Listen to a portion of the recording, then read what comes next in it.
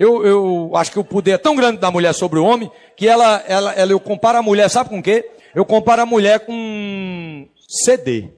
É a mesma coisa. A mulher em um CD. É. A mulher em um CD não tem diferença. Um CD por causa de uma musiquinha boa, a gente tem que comprar aquela miséria todinha, com 14, 20 músicas. É. A mulher é a mesma coisa. A mulher é a mesma coisa. Por causa de um chipiozinho de nada. Uma coisinha assim, ó. Aí é negócio danado. Agora, situação difícil passou meu amigo Valdeci. Ele é fanho. E além de fanho, ainda arranha um pouquinho, é meio gago, né? E no motel ele com a garota, muito bacana. Quando terminou o serviço de carburação, aí ele chegou e disse: Alô, é da dessa missão? A moça disse: É, pois não, diga. Minha despesa.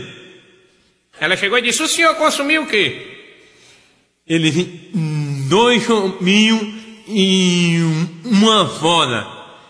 Ela disse: Olha, essa é a segunda parte, o senhor acerta aí com a mulher aí no quarto? Ele disse: Uma senhora me respeite. Eu disse dois chominhos e uma foda limonada. Bento entrou no ônibus e sentou do lado de um padre. O padre foi logo dando um sermão. Falou: Meu filho, você não vê que esse caminho que você pegou, você vai direitinho pro inferno? Voa é? Motorista, para aí, peguei o ônibus errado. Bernardino chegou, né, querendo mentir mais do que eu, porque eu, eu, eu fico incomodado quando eu chego nos lugares que o cara quer mentir mais do que eu. Porque eu sou profissional da área, não é? Porque esse ramo que eu pratico é um ramo infeliz. Todo mundo quer entrar no meu ramo. O pior inquilino é o espermatozoide. Mora com milhões de irmãos na casa do cacete. O apartamento é um ovo. O prédio é um saco. Os vizinhos da frente são os pentelhos de trás só faz merda. E o proprietário, quando fica duro, põe todo mundo pra fora. Porque você vê o rico é diferente. Eu vejo um rico de longe, eu digo, como é que é diferente um rico? Se o rico é os dentinhos branquinhos, tudo cerradozinho, ele magrinho, todo ensacadinho. Por quê? Porque o rico, Zé, ele só se acorda às duas horas da tarde. Já economizou o café, o lanche e o almoço. O de jejum dele é uma bolacha integral, um chá.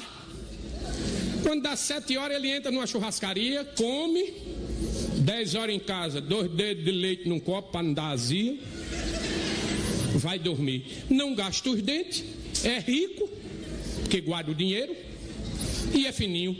E o pobre? O pobre, Zé, gasta o dinheiro dele todo com comer. Aí, Tom, tinha uma velhinha deitada na cama, aí se acordou de manhã cedo junto do velho dela e disse: Eita, meu velho, passei a noite sonhando. Ele disse: E eu? Aí ela disse: Tu sonhou com o quê? Ele disse: Eu sonhei que eu estava no bar, bebendo. E tu? Ela disse: Eu sonhei que eu estava num motel. Aí ele disse: Comigo? Ele disse: Não, você estava no bar bebendo. E Vicente chegou na beira-mar de Copacabana e ia saindo dois meninos, 17 anos, com umas pranchas debaixo do braço. Aí Vicente disse: Vou assaltar agora. Olha o palavreado de Vicente. Puxou a faca e disse: Arriba o braço e não se bula. Aí o menino olhou assim e disse: senhor quer vender a faca? É? Aí Vicente disse: Deixe de munganga. Pare de pantim, presépio, pare. Aí o cara disse: Esse velho é árabe. Ele disse: Você quer comer a minha peixeira no pé do seu bucho? Você vai morrer furado feito um arupemba lá pra banda do Sandu? Aí o menino disse: Não, a gente não quer faca, não. Aí foram embora. O Vicente disse: Isso é uma porra, rapaz. Sacudiu a faca fora. Nem assaltar a gente pode aqui, que o povo não entende o que a gente fala.